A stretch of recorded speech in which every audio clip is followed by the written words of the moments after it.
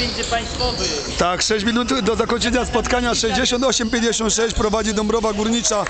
Pogoń już y, doszła Dąbrowę nawet na 5 punktów, ale znowu, znowu Dąbrowa dobrze zaczyna grać i 58, 68, 10 minut, 5,49. A ja chciałbym przypomnieć dobre czasy, mało kto wie.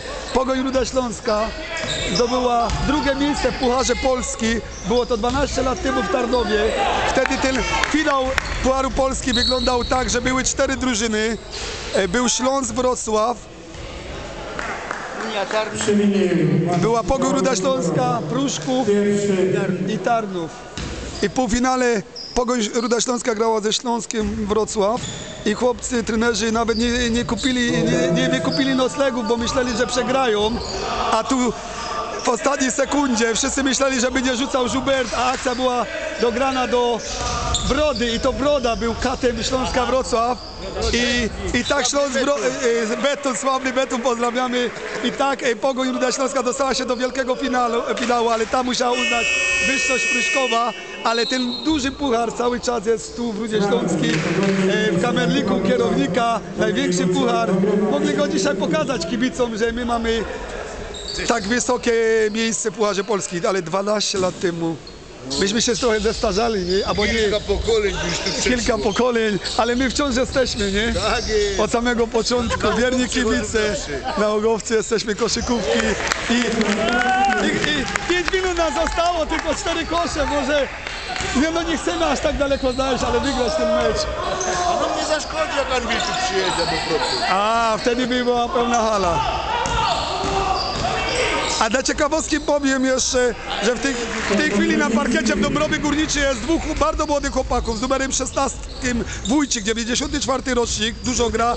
I z numerem 4 Marcin Piechowicz, jego brat starszy gra w, grał w Albilu Wocławek, teraz wrócił do Dąbrowy.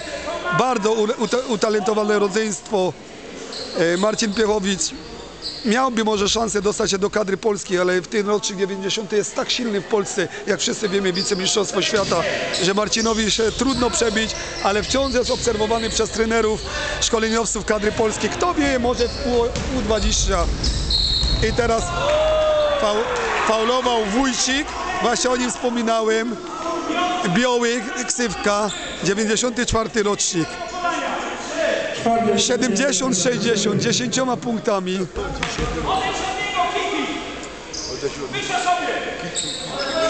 A jak panowie myślą, dzisiaj 9 drużyn startuje z- w drugiej lidze w. Ile przejdzie dalej na 9? Na 9 dwie. Dwie pan mówi, a pan?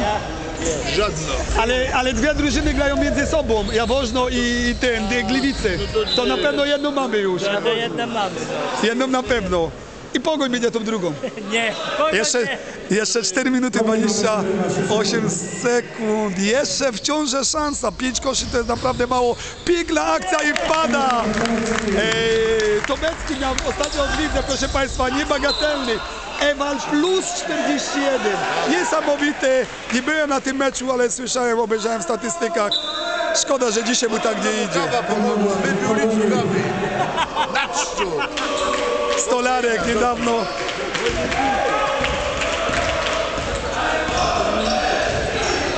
Siedemdziesiąt, sześćdziesiąt dwa. Jest. Zbliżamy się, proszę Państwa.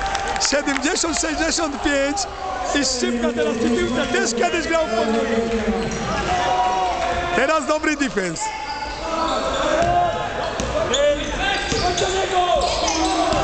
Marcin Piechowicz. Będą zmiany w zespole już, schodzą.